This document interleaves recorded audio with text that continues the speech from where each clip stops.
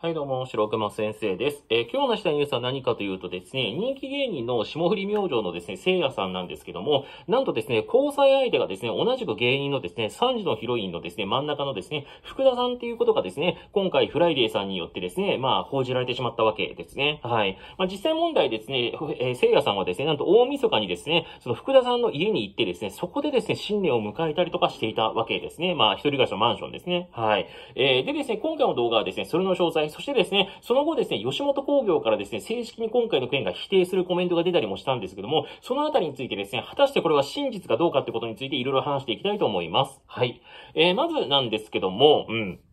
まあ、絞り明星の聖夜さんといえばですね、本当に第7世代のリーダーっていう感じで、まあ、今後もずっと売れ続けていく人っていう感じがしますよね。はい。えー、でですね、この聖夜さんにですね、どんな風なですね、報道が出たかというと、まあ、そもそも聖夜さんはですね、今年の1月14日のですね、絞り明星のオールナイトニッポンというラジオの中でですね、その恋人とのですね、破局を告白したわけですね。はい。で、それについてですね、粗品さんからですね、えー誰と付き合ってたんだよっていうふうに聞かれたんですけども、まあまあまあまあ、一般の方ですけどねっていう風に答えていたらしいんですね。はい。まあ、しかしなんですけども、それが一般人ではなかった、えーもっと言うと、3時のヒロイン、福田さんだったっていう風に、フライデーさんは報じてるわけですね。うん。えーというのは何かっていうとですね、はい。まあ、そもそもせいやさんも福田さんもですね、売れっ子なんで、やっぱ年末年始はですね、すごいテレビ番組の収録とかで忙しかったらしいんですね。で、そんな中ですね、12月31の夜7時過ぎですね、はい。えー夜7時までですね、えーね、え収録していた番組を終えるとですね、えー、聖夜さんはですね、タクシーに乗り込んでですね、えその後どこに行ったかっていうと、あるマンションなんですね。で、そのマンションが何かっていうと、さっき言った3時のヒロインの福田さんの自宅だったっていう話なんですね。うん。で、その後ですね、二人はですね、福田さんの自宅でなんと新年を迎えたらしいんですね。はい。で、元旦の深夜2時からですね、聖夜さんは別の生放送があったということで、まあ深夜0時40分くらいにですね、その福田さんの家からタクシーで仕事場に向かったっていう話なんですね。うん。で、ちなみになんですけど、これどういうふうには、えーそのね、講座に発展したかっていうと、まあもともとですね、芸人同士で仲が良かったっていう話らしいんですね。ででね、2020年頃からですね、そのせいやさんの方から福田さんの方にですね、積極的にアプローチしに行ったらしいんですね。まあ言ってみたら二人で海に行こうと誘ったりだったりとか、まあ頻繁に飲みに行ったりとかしていたみたいですね。うん。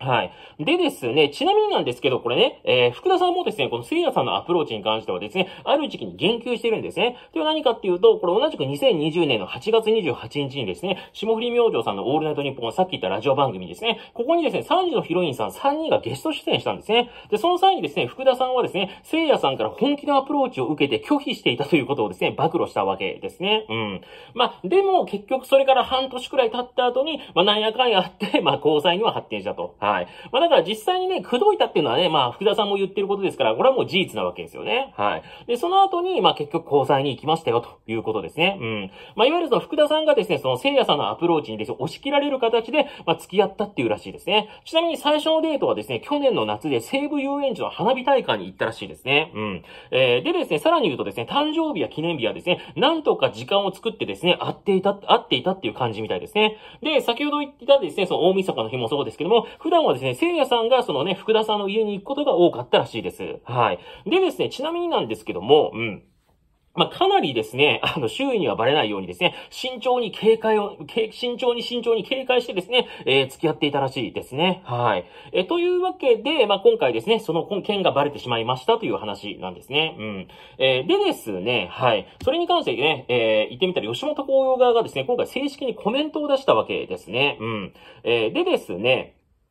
なんて言ってるかっていうとですね、はい。えー、ね、吉本興業側からは、吉本興業側からするとですね、聖夜さんがですね、大晦日に福田さんの自宅を訪れたことは認めつつですね、他にも複数人の芸人や、えー知人らがいたというふうに説明していたんですね。まあ、ただですね、交際の事実はなく、仲のいい友人の一人であるというふうにね、えー言ってるみたいですね。はい。で、先ほど言った、その、さえー年初1月14日にですね、聖夜さんがオールナイトニッポンでですね、一般人の彼女と、えー一般人の方と別れたって言いましたけども、まあ、それははですね、一般人の方なんで、その別に福田さんではないんですよっていうふうに言ってるんですね。はい。えというわけでですね、聖夜さん側と言いますか、吉本側はですね、その、まあ、言ってみたら、まあ、この二人の交際についてはですね、まあ、完全否定しているということですね。はい。えーというのがですね、今回のニュース内容となっております。はい。じゃあ、ここから何が見えてくるのかっていう話なんですけども、うん。いや、正直言ってですね、今回の件って、まあ、ぶっちゃけどっちが正しいかってよくわかりませんよね。うん。まあ、フライデーさんはですね、割と詳細に書いてはありますけども、うん。んー。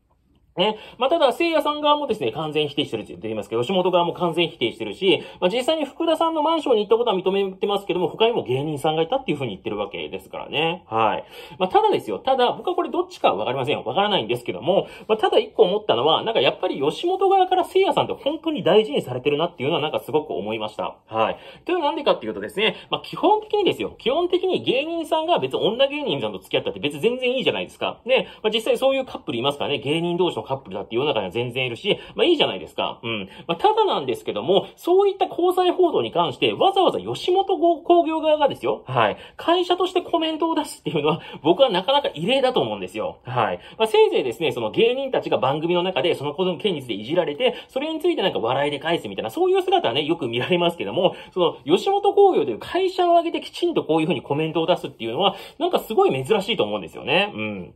だから僕はやっぱね、せいやさんって大事にされてるなと思いました。はい。まあ、実際問題ね、せいやさんって、あの、どれくらい前ですか？去年とか一昨年くらいかな？なんか、あの、文春さんの方にね、あの、せいやさんが自分のファンの女性とですね、いわゆるそのテレフォンセックスと言いますか、ズームでね、まあ、ズームっていうあのね、えー、動画で喋れるやつあるじゃないですか？画像、動画でね、えー、喋れるやつ。あれでですね、いわゆる、その、まあ、画面越しにお互いでそういうことを見せ合うみたいなね、まあ、そういうことをしていてですね、それをですね、その女性側に暴露されてしまって大変なことになりましたよね。で、あの時もですね、吉本興業側がですね、素早く動いてですね、いわゆるその訴訟という形になったんですよね。で、訴訟っていう形になると、やっぱりそのことってテレビとかでもあんまりいじっちゃダメになるんですよね。だから、その後ですね、まあ、本来芸人さんだったらそういうことって面白おかしくこう、いじれると言いますかね、聖夜さんがね、言ってみたらそのね、ファンの女の子にね、性欲だけで手出したらこんな大変な目に遭っちゃいました、みたいな感じで、なんか面白くできそうだと思うんですけども、芸人さんだったら、ただやっぱりその訴訟ということになったんで、あまりですね、大っぴらにいじれなくなっちゃったんですよね。うん。だから僕はあの時も見て思ったのは、吉本ってすごい聖夜さんのこと大事にしてるなと思ったんですよ。うん。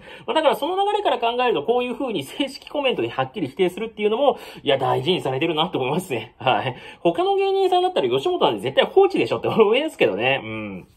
まあだから、まあ多分聖夜さんが今後のお笑い界といいますか、霜降り明星さんが今後のお笑い界を背負って立つじゃないですけども、そういうね、まあ人たちに育っていくこと吉本工業側もですね、まあ多分すごい期待してるんじゃないかなと思いますね。まあだからこそですね、まあ大事に大事にですね、まああの変なね、噂が立たないように、まあこういう風にね、あの会社を挙げてちゃんとコメントなりなんかしてるんじゃないかなっていう風に思いました。うん。なんか変な言い方をしてしまえば、なんかすごい寵愛を受けてるなっていう感じがしましたね。うん。絶対これね、絶対これね、僕思うんですけど、る程度売れていようが、ね、他の吉本工業の芸人さんだったら、わざわざ会社側コメント出したりとかね、しないと思いますよ、僕は。うん。っていうのがですね、僕の中の感想です。はい。えー、というわけでですね、今日はこれでやります。この話ですね、ちょっとも共感してくださった方、よかったらですね、高評価、チャンネル登録ですね、コメントありましたら、えー、ぜひよろしくお願いします。どうもありがとうございました。